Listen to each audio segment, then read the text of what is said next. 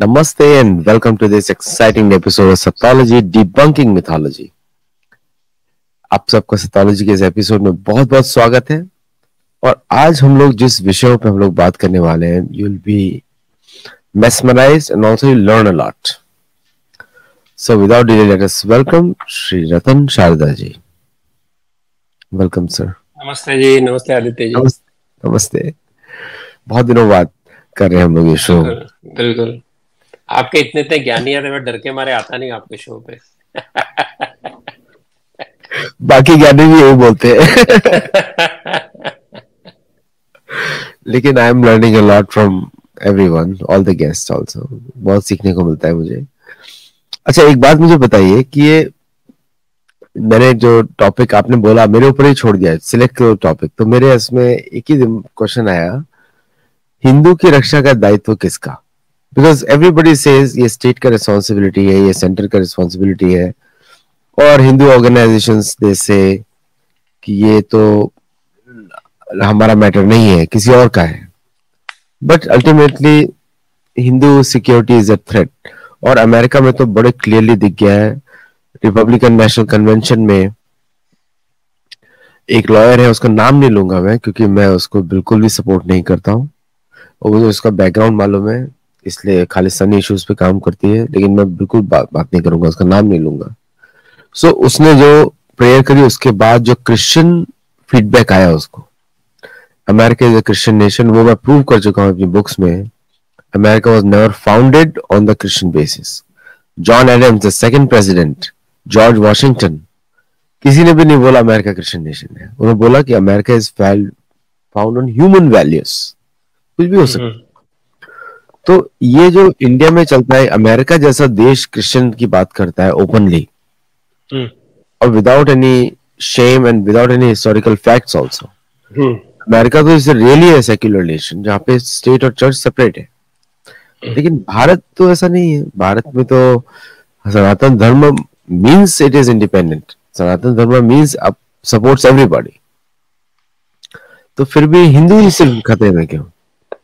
देखिए, पहली बात है कि अमेरिका ट्रूली सेक्युलर नेशन है, ऐसा नहीं है अगर हम भारत के लेफ़्ट सेक्युलर मानदंड पे चलेंगे तो हमको पता चलेगा जब आप शपथ बाइबल पे लेते हो, जब आप trust we trust in God वगैरह बोलते हो it's a Christian God and that is that is not that's not a problem but to say that it is truly secular in the sense that it doesn't have a state religion it has a state religion which is not true for India India has no state religion. Again they have copied something of West and then made a mess of it ये तो हो गया जहाँ तक सवाल है कि भाई हम क्या है? हम सेकुलर है, हम हम एक राष्ट्र के नाते क्या है? जो हम कहते हैं कि राष्ट्र जो है, ये हिंदू इथोस हिंदू रूट्स पे बना है, हिंदू ज्ञान परंपरा पर बना है, इसके लिए हिंदू राष्ट्र है। उसका कॉन्स्टिट्यूशनल इश्यू नहीं है, उसका ये कि हमारी सारी शिक्षा, हमारा भारत, हमारी सारे जो प्रोजेक्ट बनेंगे, जो हमारे प्लान बनेंगे, वो भारतीय नॉलेज सिस्टम भारतीय जीनियस पे बने। तो हम हिंदू राष्ट्र, हम कह सकते हैं हम हिंदू राष्ट्र है, जिसके अंदर सभी धर्मों को समान हक होगा कि किसी को भी पॉजिटिव या नेगेटिव बायस नहीं होगा, जो इस समय है। In that sense we are less secular than America now coming to the larger issue of Hindu को कौन बचाएगा? तो पहली बात है कि हमने, हमारे यहाँ तो वेद बिल्कुल एक बड़ा वाक्य है, धर्मो रक्षति रक्षिता। जो धर्म की रक्षा करेगा, धर्म उसकी रक्षा करेगा। उसका मतलब है कि यदि आप स्ट्रांग है अपने धर्म की रक्षा कर सकते हैं तो धर्म आपकी रक्षा करेगा। ये हमारा बोध वाक्य है।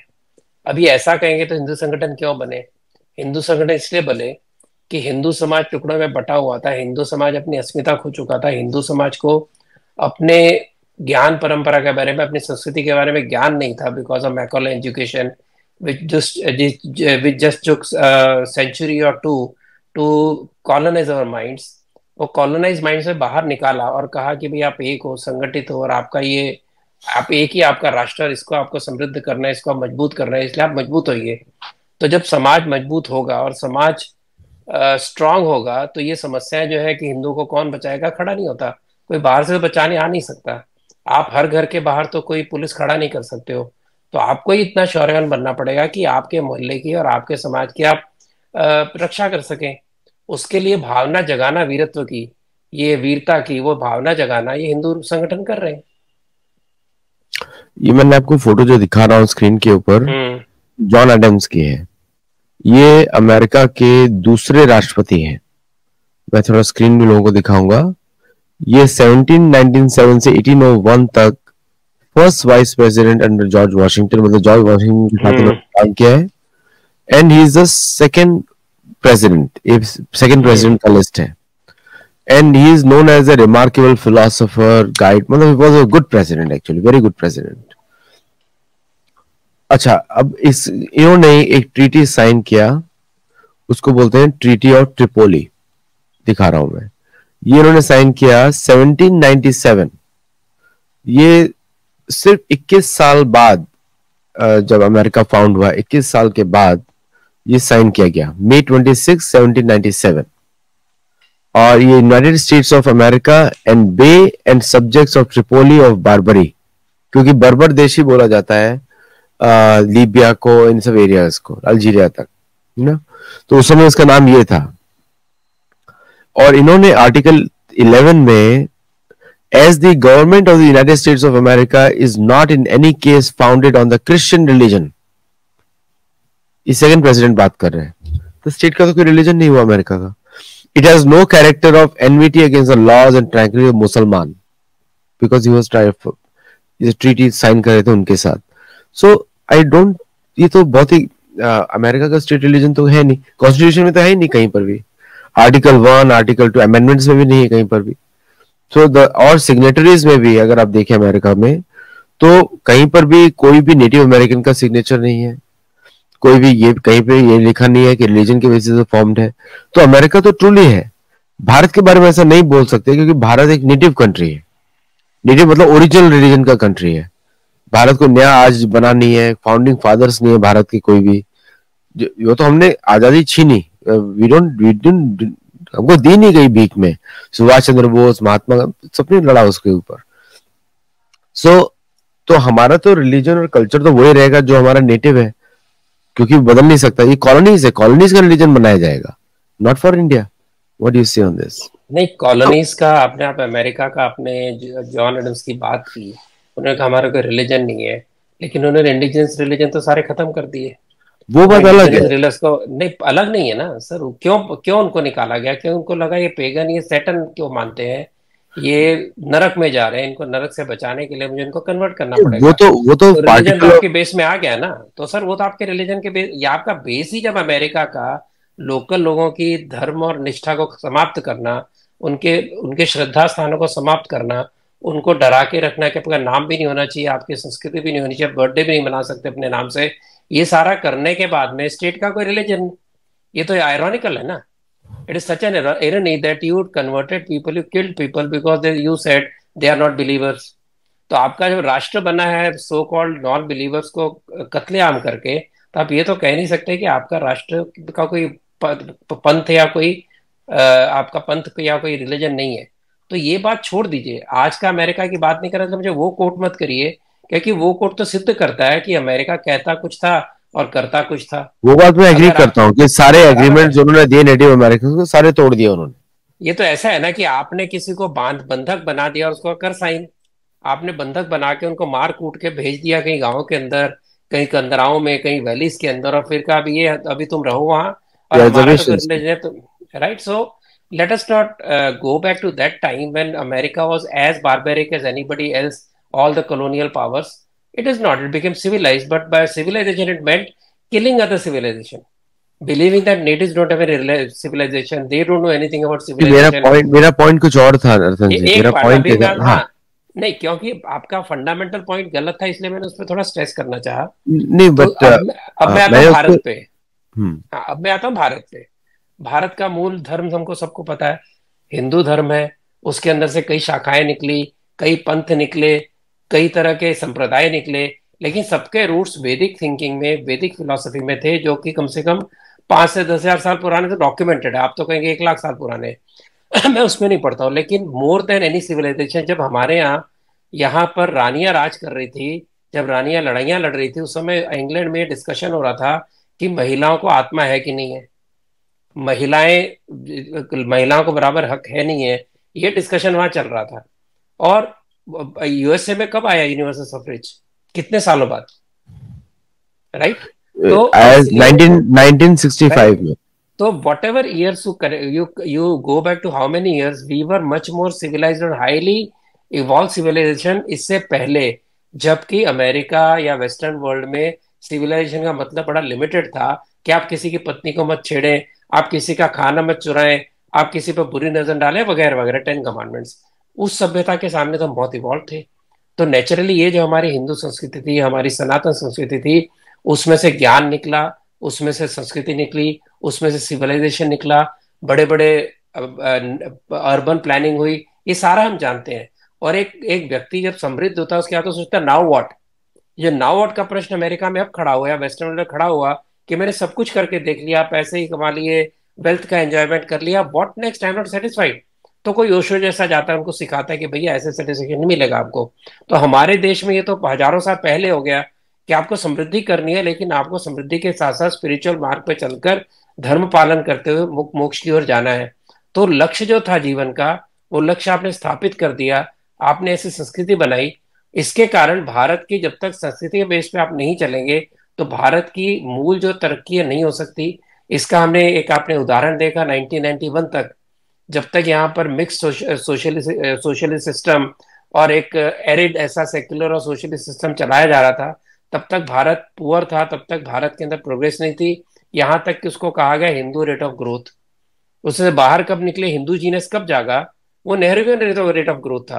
1991 में जैसे ही उसकी, उसको छूट दी गई तो सारा हिंदू जीनियस बिज़नेस का, व्यापार का, पढ़ाई का सारा जागा, और आप देखते हैं कि भारत कितनी तेज़ी से तरक्की कर रहा है। So that is why our spirit remains Hindu, Sanatan, and when you recognize the spirit, then naturally civilization grows very well. उसको रिलीजन से भी कनेक्ट करना पड़ेगा क्योंकि जो मेरा पॉइंट था कुछ और था कि आज जो अमेरिकन कमेंटेटर्स आज बोल रहे हैं कि America is founded on Christian religion उन फाउंडिंग फादर्स ने ऐसा नहीं बोला किसी ने भी नहीं बोला वो मान लिया वो मान लिया और जो डिस्ट्रक्शन ऑफ़ नेटिव्स किया वो तो बिल्कुल उन्होंने चर्च के बेसिस पे किया दैट आई टोटली मैंने डॉक्यूमेंट भी किया है सारा कि चर्च ने ही करवाया है सारा। चर्च ने वैटिकन ने करवाया और साथ में चर्च ऑफ़ इंग्लैंड ने कराया दोनों ने मिलकर कराया। Both have blood on their hands लेकिन भारत में सिचुएशन कुछ और है। भारत का सिचुएशन और है क्योंकि अमेरिका का नेटिव कल्चर रिलीजन एक फॉरेन रिलीजन डिस्ट्रॉय किया। लेकिन भारत की गवर्नमेंट भारतीय रिलीजन को फॉलो करती है। भारत की government is based on Sanatan principles वो कॉन्स्टिट्यूशन में क्लियरली दिखता है। Article 48 protects the cows also bovine all bovine animals मतलब जो दूध देता है उसको सबको प्रोटेक्ट करती है article of constitution of India लेकिन फिर भी हम लोग को दिखता है कि जगह जगह वायलेंस अगेंस्ट हिंदूज एंड फिर उसके बाद नेम कॉलिंग होता है। ये स्टेट इशू है, ये सेंटर इशू है, यहाँ पे राइट्स हो रहे हैं तो वो स्टेट इशू हो गया। ऐसे सब लोग चुप बैठे हुए हैं। And which is a very मतलब for a non resident Indian it is very difficult thing to see actually कि अमेरिका में क्रिश्चियन के विरुद्ध होता है टगर कार्लसन बात करता है। The twenty different forums to speak about it even though it is nothing happening यहाँ पर तो everything happens and still nobody talks देखिए इस विचार को बदलने में आरएसएस नाम के संगठन को सौ साल लगे कि हम we are at the receiving end and we have to recapture our glory recapture our संस्कृति our history our knowledge etc etc करते करते हम 2014 तक पहुँचे which is about 90 years of hard work and this was despite clear opposition from the colonial mindset of seculars communists etc etc and against all the odds Bharat के लोग उसको समझ पाए भारत के लोगों ने अपनाया इसके कारण जागृति आई है ये हमको मानना पड़ेगा लेकिन इसके साथ ही जो कॉन्स्टिट्यूशन ने जहाँ उसमें आपने रिलीजन की अच्छी बात की वही रिलीजन को अगर आप देखेंगे मेजोरिटी रिलीजन कहने के बाद में हमको अपने रिलीजन को नर्चर करने के लिए आ, कोई ऑप्शन नहीं मिलता स्कूलों के अंदर क्योंकि अगर गवर्नमेंट एडेड स्कूल है और अगर आप सीबीएसई वगैरह करवा रहे हो तो अपने पंथ और अपने धर्म के बारे में कुछ नहीं बता सकते माइनॉरिटी बता सकती है। हमारे जो श्रद्धा स्थान और नॉलेज के सेंटर थे मंदिर वो भी ऐसे कानून बनाए गए कि वो हिंदू उसको चला नहीं सकते। वास्तव में कानून है कि जो नहीं चला सकता, उसको करो करना है।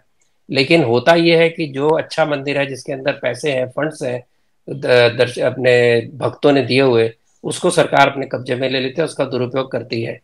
अब सवाल है कि हिंदू ऐसा क्यों है? तो जो कॉलोनियल माइंडसेट था, जिसके अंदर आप तो आपके अंदर सारे दुर्गुण है, जो कि दुर्गुण आज भी आपके पश्चिम में तो वही दुर्गुण ही सिखाए जाते हैं। वो जब स्त्रियों को जलाते हो, भ्रूण हत्या करते हो, आप कास्ट के नाम पे समाज में कलंक फैलाते ये सारा जो भी उसका एक नैरेटिव चला, उसका उत्तर देते देते अब जाके उसका उत्तर लोग देने लगे हैं। और हिंदू को ध्यान में आया कि इस प्रकार उनको नीच दिखा के, उनको प्रयत्न पूर्वक इंफीरियरिटी कॉम्प्लेक्स जगा के, उनके हक उनसे छीने जा रहे हैं, उनके ऊपर अलग चीज़ें थोपी जा रही हैं। अब यही नहीं तो हिंदुओं को तो डिसाम कर दिया गया था। हिंदू सुख सारे समाज को, अंग्रेज़ों ने जैसे जैसे रेवोल्यूशन आई और जैसे ये 1857 हुआ, जो पहला स्वतंत्रता युद्ध, उन्होंने सारे डिसाम करते दिए हिंदू तो आप बंदूक नहीं रख सकते, आप पिस्तौल नहीं रख सकते, आप किसी प्रकार का हथियार नहीं रख सकते। वो आज भी कानून है। तो आप अगर आज भी तलवार के साथ पकड़े जाते हैं अनले से डेकोरेटिव सोड आज भी आपको पुलिस चाहे तो एक्शन ले सकती है। तो जब आपको डिसाम ही कर दिया गया, आपको बैड बॉय बना के, आपको गुड बॉय बनाने के लगा प्रयत्न हुए तो इस प्रकार जो कॉम्प्लेक्स है कि अपनी रक्षा क्यों करे, सरकार करेगी, सरकार नहीं कर सकती। जैसे मैंने कहा हर दरवाजे पे सरकार पुलिस खड़ा नहीं कर सकती।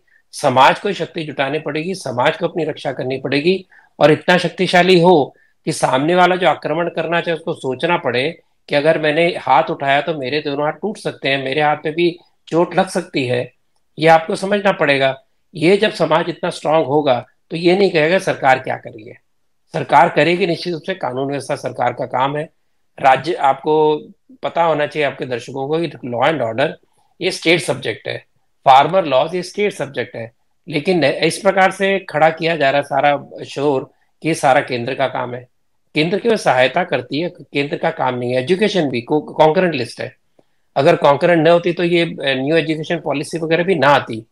अभी कॉन्करेंट लिस्ट है, कुछ सरकारें कहती हैं, हम नहीं करेंगे। क्यों नहीं करेंगे? कि हम अपनी संस्कृति की बात कर रहे हैं, अपनी सभ्यता की बात कर रहे हैं, हम अपने सच्चे इतिहास की बात कर रहे हैं। वो भी इनसे सहन नहीं होता। तो से कि आज यहाँ पर हिंदू धर्म का, हिंदू पंथ, पंथों का बोलबाल ऐसा नहीं है। आज भी जो जो एकेडमी एकेडमिया है मीडिया का मेजर पार्ट है, वो आज भी हिंदू विरोधी है। जैसे आपके यहाँ पर खबर आई ट्रंप के ऊपर गोली चलने के बाद में कि कुछ आवाज़ें आई, कुछ हिंसा हुई, ऐसे हमारे भी नॉर्मलाइज किया जाता है। तो इसके कारण ये जो normalization of violence against Hindus है, इसको करने में बहुत बड़ा हाथ सेक्युलर लेफ्टिस्ट लॉबी का है। और हिंदुओं के अंदर जो इंफेरिटी कॉम्प्लेक्स है कि उसे एसर्ट करते नहीं करने लगे हैं लेकिन और भी करेंगे तब जाके बाकी लोग उसको सुनेंगे। एक्चुअली इसमें आ, मैं इसमें थोड़ा सा और कुछ दिखाना चाहता हूँ स्क्रीन पे। आ, और let me just how we can bring it back लेकिन आ, एक इसमें क्वेश्चन आता है like you have seen democracy decline in the US आप देख ही रहे। एक एक्स प्रेसिडेंट पर अटैक होता है। और पता लगता है कि उसमें सीक्रेट सर्विस पर ही सारी उंगलियाँ उठ रही हैं। तो मैं दर्शकों को बोलूँगा कि कोई भी भारतीय security agency American security service से कोई ट्रेनिंग ना ले। तो पहला तो मैं बोलूँगा लोग मैं देख रहा था कि जो लेडी पुलिस थी वो किस तरह फंबल कर रही थी। उसको फ़ैशन की ज़्यादा चिंता थी। ना उनसे गन संभल रही थी ना उनसे अपने आ, कोई उनसे अपना जो काम है उससे हो रहा था। गॉगल और गन संभालने में उनका ध्यान था। तो मैं देख रहा था। और जो जैसे जो मैंने जो स्टेटमेंट पढ़ी कि जो स्नाइपर बैठा था टेरेस के ऊपर जिसने इसको देखा जिसने गोली चलाई उसको तीन मिनट तक परमिशन नहीं मिली। In the do and die situation तीन मिनट परमिशन ना मिलना naturally people feel there is something wrong ऐसा नहीं है भारत में हत्याएँ नहीं हुई है लेकिन भारत में हत्याएँ हैं और इंटरनल सेबोटाज से हुई जो मेजर हत्याएँ और उसका जो इंटेलिजेंस एजेंसी का उसमें हार्डली कोई गलती थी। इवन गांधी जी की हत्या के समय इंटेलिजेंस ने बताया था कि यहाँ पर आए हुए हैं। पंद्रह दिन पहले उसके मदनलाल पाहा वगैरह ने बता दिया था, लेकिन उसको सुरक्षा नहीं मिली गांधी जी को। इंदिरा जी को सुरक्षा मिली थी सुरक्षा कर्मियों ने मार दिया। राजीव जी ने सुरक्षा रखी थी, वो टेररिस्टों ने मार दिया। लेकिन ओवरऑल पुलिस की कमी या एक सुरक्षा के घेरे की कमी, वरना आज मोदी जी पे इतने रिस्क होते हुए जिस प्रकार से घूमते हैं, मुझे नहीं लगता कोई भी प्रेसिडेंट ऑफ़ यूएसए सपना भी देख सकता है, जैसे लाखों करोड़ों लोगों में आज मोदी जी और उनके मंत्री घूमते हैं because of very tight security preventive security is much more important आपको नाइन इलेवन से लेकर आपको कॉशन मिलता है कि इस प्रकार के लोग घूम रहे हैं। आपकी उसमें नज़र होती है, फिर भी आप उसको छोड़ देते हैं। शुरुआत तो वहीं से होती है कि आपको प्रिवेंटिव सिक्योरिटी की आपको या तो आपके डीले हो गए हैं या आपको पड़ी नहीं है। कनाडा में भी यही हुआ था। कनिष्क की बॉम्बिंग के पहले क्लियरली इंटेलिजेंस एजेंसी को पता था कि आदमी गलत है तो उन्होंने ध्यान नहीं दिया।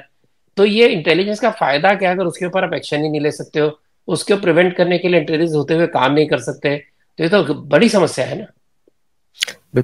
एक्चुअली क्या है कि ये जो पूरा इंसिडेंट अभी अनरेवल हो रहा है, उसमें अब अब क्या हो गया है कि अमेरिका को अब ये पता नहीं कि सिक्योरिटी एजेंसीज कैसे काम करती हैं। क्या, कौन कौन लॉयल है, कौन नहीं है।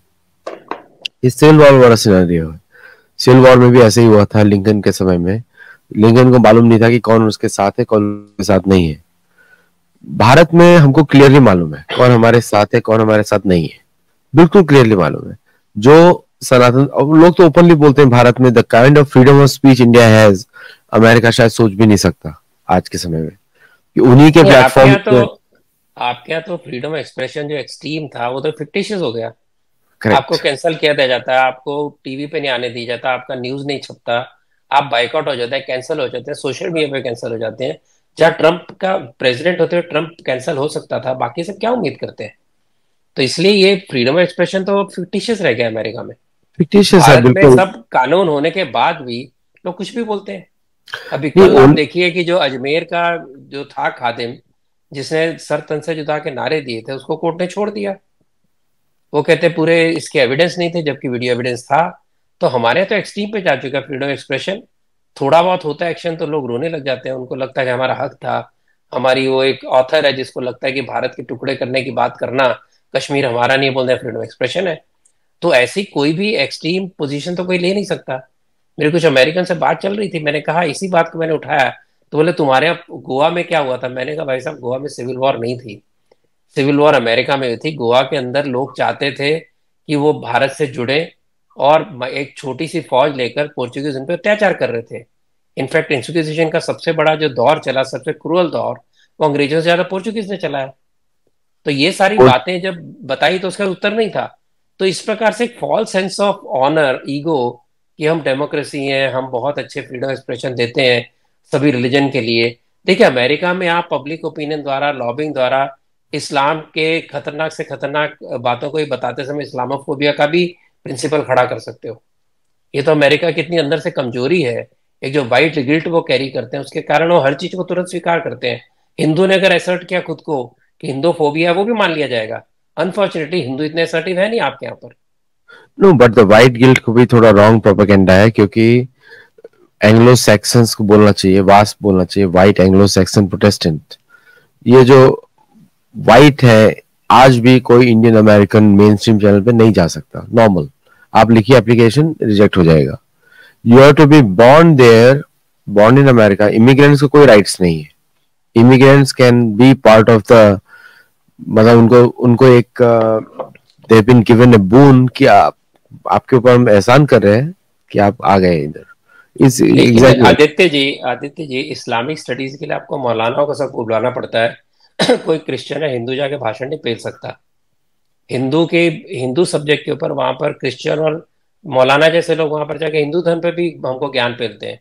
लेकिन अगर कोई गलती से ज्ञानी चला गया राजीव मल्होत्रा जैसा तो उसको प्लेटफॉर्म नहीं देते आसानी से। नहीं देते नहीं देते छोड़ ही दो। आपका टेक्स्ट बुक में गलत प्रेजेंटेशन है हिंदू इतना इतना अभी भी इतना नहीं लॉबिंग कर पाए कि उसको हटाया जा सके। कहीं कहीं सफलता मिली है लेकिन जो सफलता मिलनी चाहिए जितनी पावरफुल कम्युनिटी होते तो नहीं है। So I was telling, I think somebody else was telling that Muslims always punch above their weight and Hindus always punch below their weight.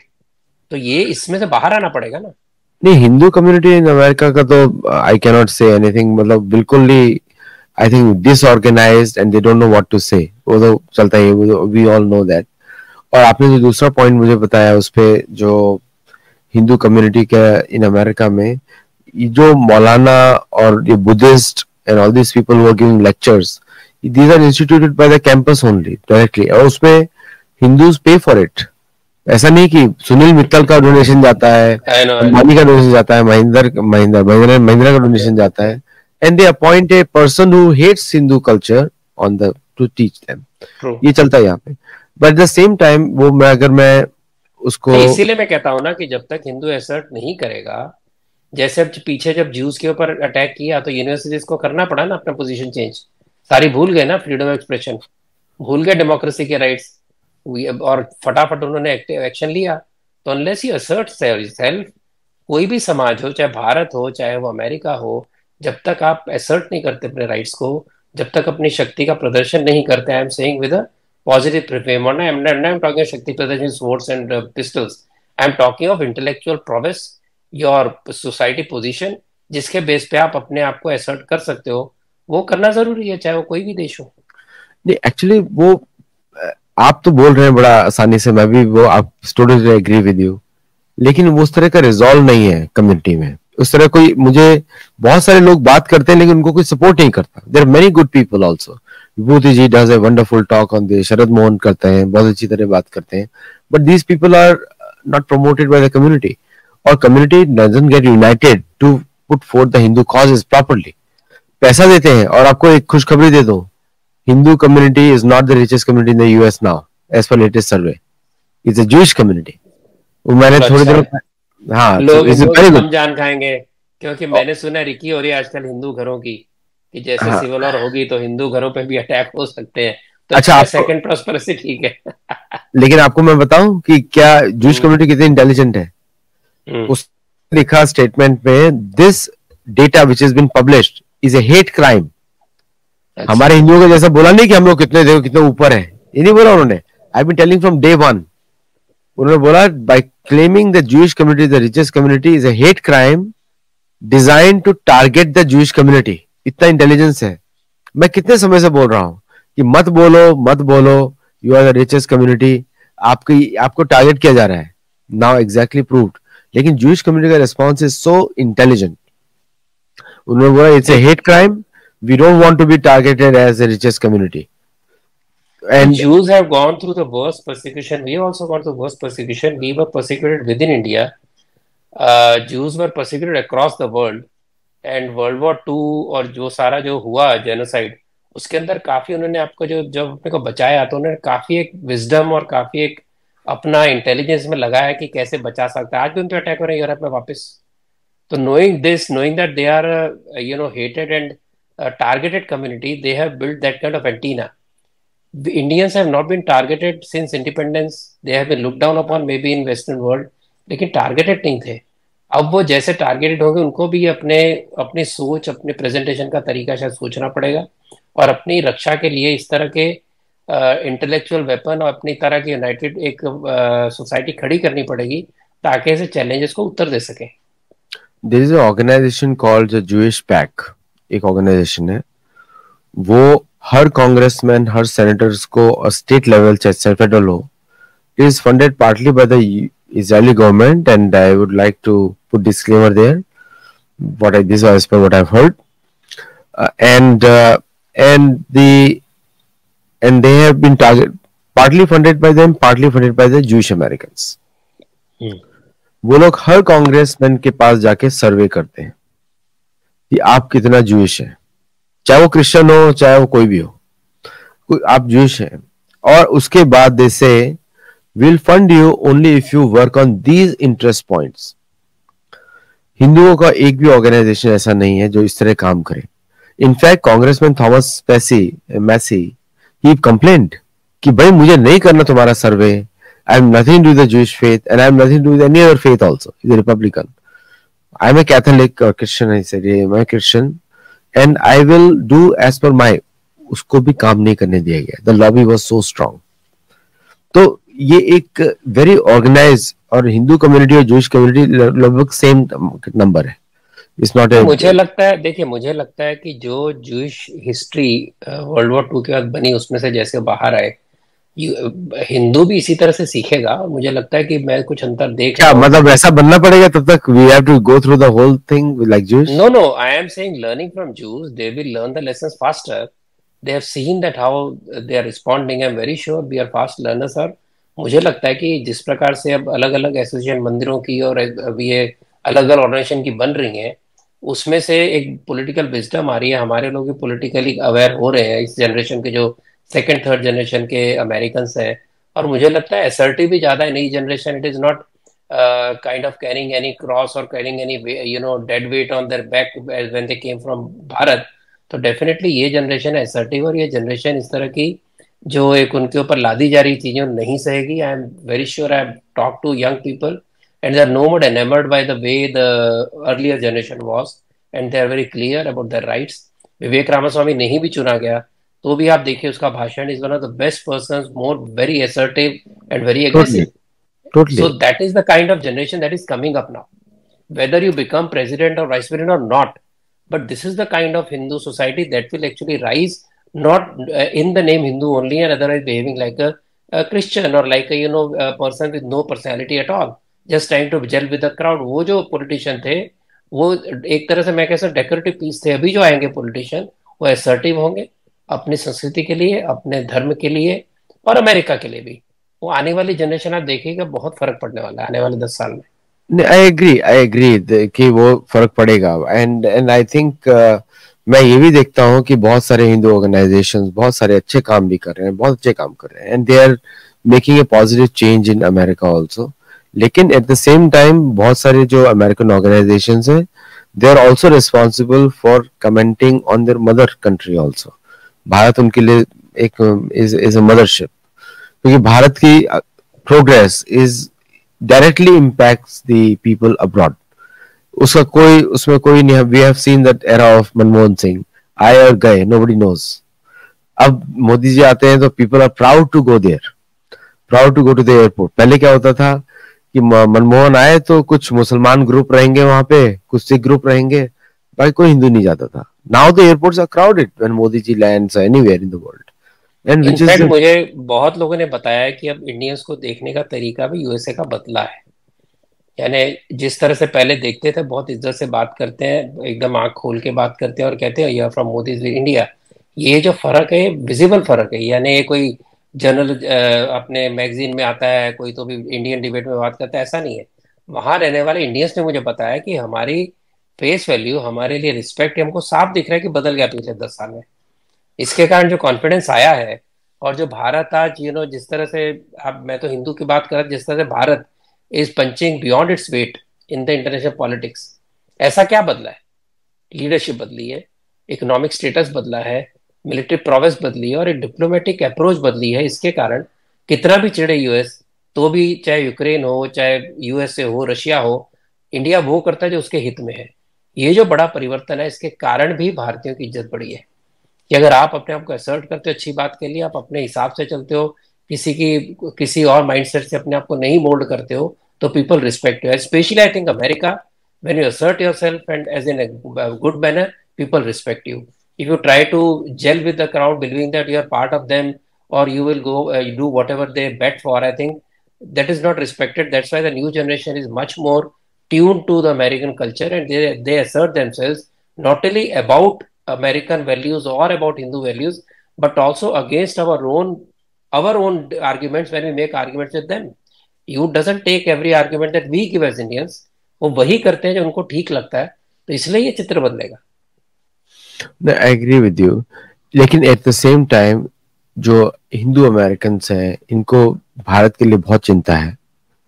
They they they love आपको मालूम आप हंस रहे हैं, आप के लिए हंस रहे लेकिन मैं इसलिए नहीं, मैं डिक्रा मैं डिक्राई नहीं कर रहा, मैं मज़ाक नहीं कर रहा। I am I am I am happy and also amuse both ways because मैंने ये कहा है, जैसे बहुत पहले, सालों पहले आरएसएस के जो सेकंड चीफ थे गुरु जी उनको जो बाहर आरएसएस के लोगों ने काम शुरू किया हिंदू स्वयं संघ से, गए, वहाँ मन किया, शाखाएँ लगाने लग गए। कोई आरएसएस डायरेक्टिव आया नहीं था। तो जब मिलने गए थे सिक्सटीज की बात होगी तो उन्होंने कहा कि हमें क्या करना चाहिए? तो गुरु जी ने कहा, आप वो काम करें जिससे हमारा सर गर्व से ऊँचा हो और हम ऐसा काम करें कि आपका सर वहाँ गर्व से ऊँचा हो विच मीन्स कि you do something that we will make us proud and we will behave in a way that you will feel proud वो अब हो रहा है। इसके कारण रेसिप्रोकेसिटी है। मैंने यहाँ तक भी कहा अपने दोस्तों को कि भारत की चिंता मत करिए। भारत का जो रिफ्लेक्टेड ग्लोरी है, उसको एंजॉय करिए। जो हम कर रहे हैं, हम अपने देश के लिए कर रहे हैं। आप यहाँ अपने समाज की चिंता करें कि आपका, आपके बारे में यहाँ का समाज क्या सोचता है। उसमें आपने अपने को कैसे प्रोजेक्ट करना है। उसमें जो भारत की ग्लोरी है, उसका फ़ायदा उठाइए। लेकिन भारत में क्या हो रहा है, भारत में क्या होगा, इसकी चिंता मत करिए। हम बैठे चिंता करने के लिए। So that is my attitude I respect their you know worry about Bharat I think it is natural for them but second generation doesn't behave that way it is the first generation which came from a very poor Bharat वो ऐसे समय आए थे जब भारत की कोई जगह नहीं थी, कोई पोजीशन नहीं थी। यहाँ उनको अपने आप को ढालना पड़ता था, अपने आप को सिर नीचे करके काम करके अपनी जगह बनानी पड़ती थी। सेकंड जनरेशन को प्रॉब्लम नहीं है। तो second generation is most concern what is happening in USA then in Bharat तो आप अगर देखेंगे कि जो, खुश होकर जाते हैं, जो बात चिंता भारत की करते हैं, जो भारत से गए थे, जो वहाँ सेट हो गए, उनको भारत की इंफ्लुएंस है, भारत का इंस्पिरेशन है। भारत के बारे में गर्व है कि हमारा रूट है, वहाँ पर है, लेकिन कल्चरल रूट वहाँ पर है। हम यहीं के हैं। ये एक बड़ा फ़र्क जनरेशन में पड़ा है। इसके कारण मैं तो कहा करता हूँ कि आप भारत में कैसे होगा, इसकी चिंता मत करिए, होगा। आप ये चिंता करिए कि आपके ऊपर यहाँ तो कोई गलत काम नहीं हो रहा, आपको यहाँ गलत प्रोजेक्शन तो नहीं हो रहा। और जो भारत के प्रोजेक्शन से आपको लाभ हो सकता है, उसके अंदर अपने आप को असर्ट करिए।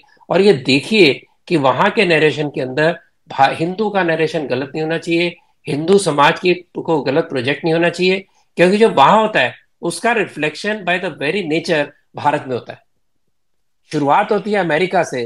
कास्टिज्म की बात अमेरिका में शुरू होती है दलित एफ्रो नेटवर्क की भारत अमेरिका में बात शुरू होती है। उसका रिफ्लेक्शन अपना ये फ्लूड जेंडर का रिफ्लेक्शन है भारत में आता है उसके बाद।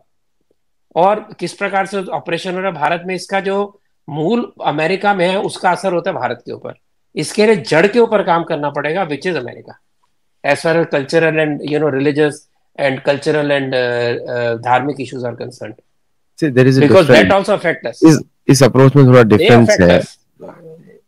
नहीं नेचुरली अमेरिका का एक्सपोर्ट तो बहुत ही ज़बरदस्त है व्हाट दे एक्सपोर्ट एंड वो तो हर जगह भारत में दिखता ही है। और एंड द भारत से जो वैलिडेशन सो जब हम लोग Indian American when they tell India to focus on Hindu first period हम तो सीधा बोलते हैं हिंदू फ़र्स्ट क्योंकि no American wants to come to India to visit a Muslim मस्जिद they don't come to India to visit a church उनके इधर बहुत है इधर।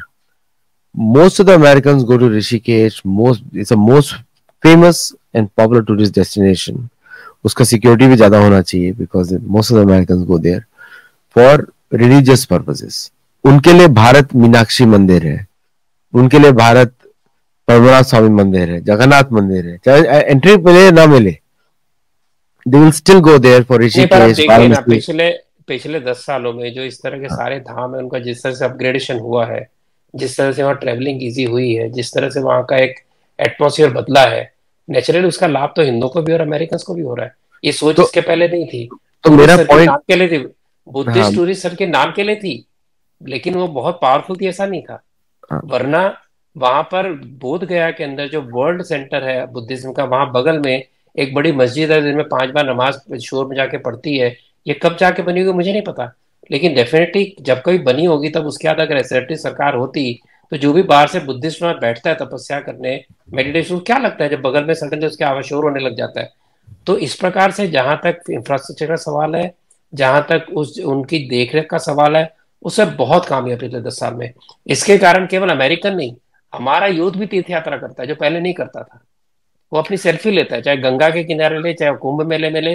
ये बहुत बड़ा फ़र्क भारत में है, वही फ़र्क आपको जो टूरिस्ट आता है, उसको भी देखना मिलता है। नहीं वो तो बहुत सारे वो मंदिरों का वो वो इशू अलग है वो अपग्रेड का issue but this is good part actually maintain किया जा रहा है लेकिन द पॉइंट इज़ मेरा क्या पॉइंट है कि when the Hindus what they want sometimes क्या होता है कि जैसे इसराइल का हम लोगों ने एक एग्जांपल लिया even though it's a very small country इससे थाने के बराबर है वो थाने से भी कम होगी वो।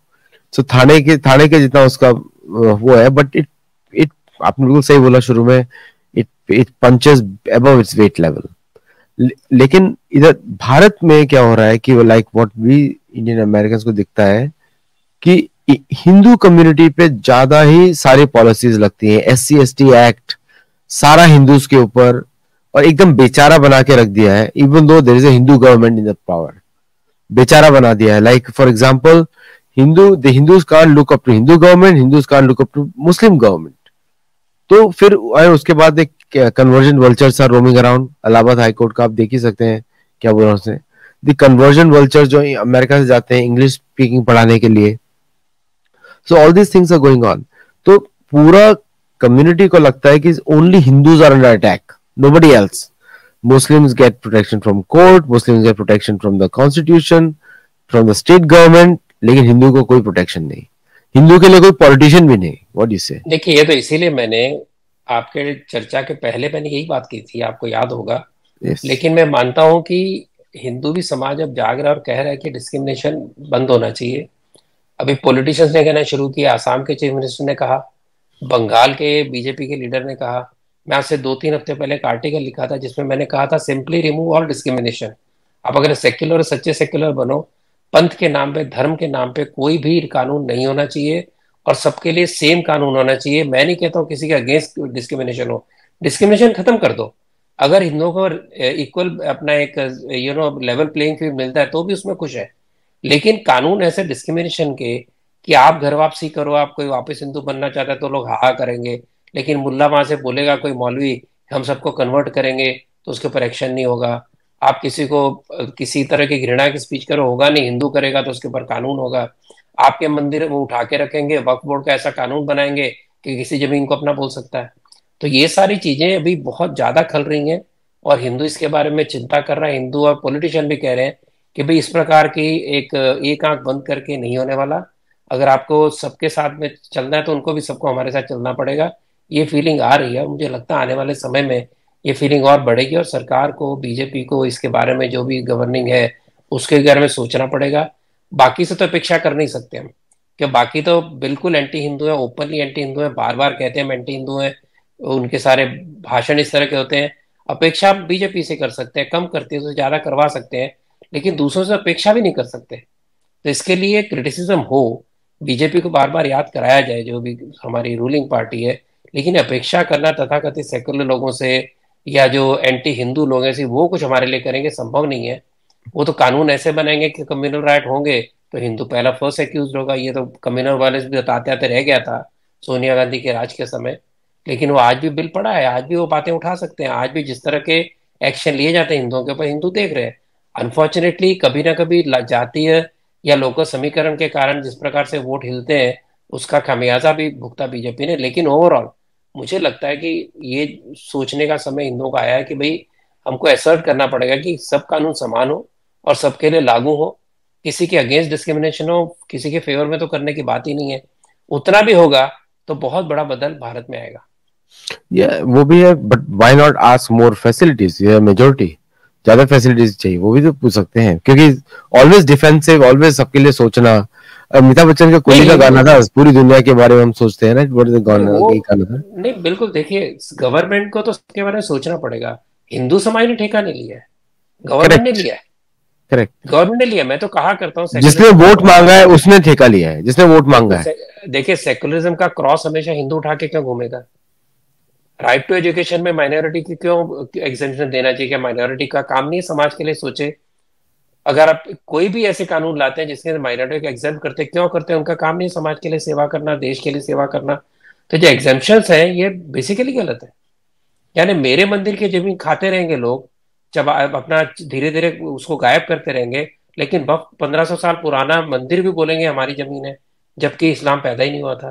तो इस तरह के कानूनों के ऊपर निश्चित रूप से हिंदू जागा हुआ है। कभी कभी छोटे बड़े पेटिशंस के कारण पिछली बार यहाँ वहाँ हिला, मुझे लगता है कि आने वाले समय में अगर इसके ऊपर लॉबिंग अच्छी की जाएगी तो हम तो इतना ही कह रहे हैं कि भाई हमको, हमारे हाल पे छोड़ दो सबके लिए एक समान कानून कर दो, हम अपने समाज की रक्षा, हम अपने समाज की संस्कृति सब संभालेंगे। मंदिर का पैसा मंदिर का रहने दो, हिंदुओं का रहने दो, मंदिर कैसे उपयोग करेगा हमको हमको पता हम कर लेंगे। हमारे जो डेड हो चुके हमारे संस्कार केंद्र है, हमारे जो कला केंद्र है, जो इंडस्ट्री उसको हम जगा लेंगे अपने आप।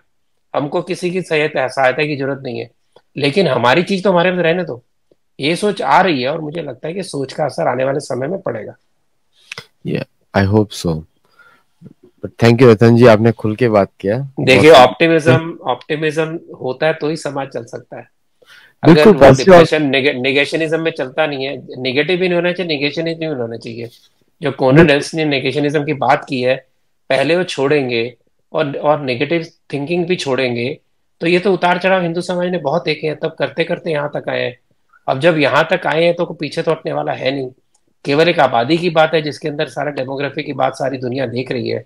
उसका उत्तर भी सरकारों को ही सोचना पड़ेगा। और इस तरह से एक किसी भी संस्कृति आप बिल्कुल ओवररन कर जाते हो, चाहे यूरोप हो, चाहे यूके हो यूएसए में भी हो सकता है। अब अपने आप को एसर्ट करने का जो है तो बाकी समाज भी एसर्ट करना चाहिए। वो असर्ट करेगा तो इक्वल न्याय होगा तो ठीक चलेगा सारा। और ये मुझे लगता है कि आने वाले समय में निश्चित रूप से इसके ऊपर और गहन चिंता होगी और ज़्यादा विचार किए जाएँगे।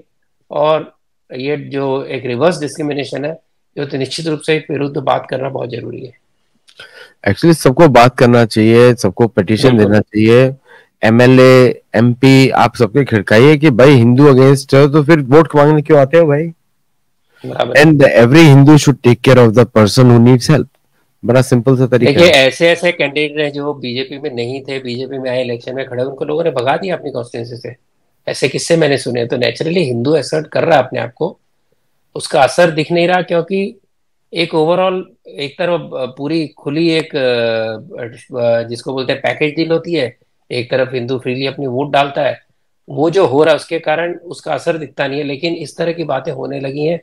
और आज मैं एक यूट्यूब सुन रहा था जिसके अंदर वही व्यक्ति जो जो पहले जो डिफेक्ट करता था, वो दोबारा आता था, जीत जाता था आसानी से, कर्नाटक में हुआ। लेकिन उसके बाद हिमाचल में, उत्तराखंड में जो डिफेक्ट करके गए, वो उनको, वो जीत नहीं पाए आसानी से, जीते हैं तो मार्जिन कम हो गई। तो वोटर जागा हुआ है। और वोटर ध्यान से देखता है कि भैया मुझे मूर्ख बनाया जा रहा है। तो ये जो ऊपर सौदेबाजी चलती है कि आज यहाँ, कल वहाँ, जो कॉर्पोरेट टेक ओवर होते हैं, पार्टियों के अंदर, अब कब एमएलए दस एमएलए बीआरएस के कांग्रेस में आ गए। तो ये सब जो हो रहा है वोटर सोचता है, मेरे साथ धोखा हुआ।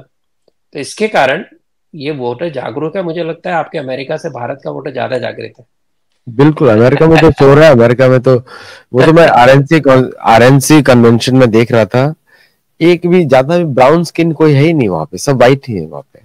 तो लाइक उसमें दिख ही नहीं रहा है कि एंग्लो सेक्शन पार्टी है, और विवेक चाहे कितना भी बात कर ले विवेक रामास्वामी अंत में जाके प्रवचन कोई सुनता नहीं है because people see thing on the ground और प्रवचन अभी हरमीत डिलो का तो एनीवे uh, छोड़ दीजिए उसको। तो thank you all thank you आपके लिए भी और लिए। भी आप आए और आप हमेशा आते हैं तो thank you very much for giving us your ज्ञान एंड नॉलेज चलिए फिर हम लोग मिलते हैं अगले शो में। नमस्ते।